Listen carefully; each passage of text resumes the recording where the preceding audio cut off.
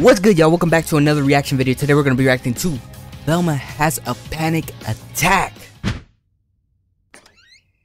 Daphne, Ugh. I'm gonna cut to the chase.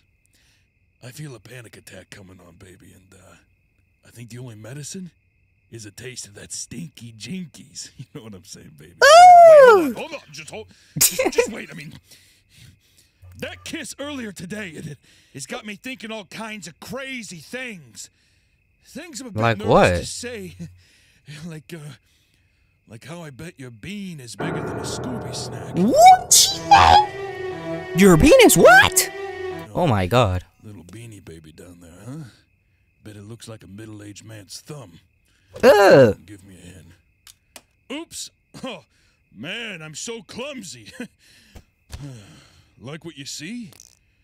Bet you're wondering if I got an Arby's beef and cheddar between my legs, huh? Well, there's only one way to find out.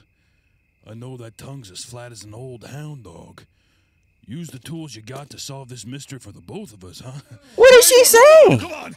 You know, I don't need my glasses to see that that you and me we're a great pair.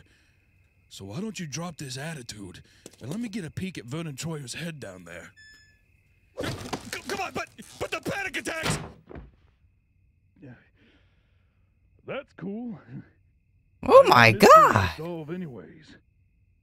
But if I had to put money on it, I bet it's as bare as a silverback's belly.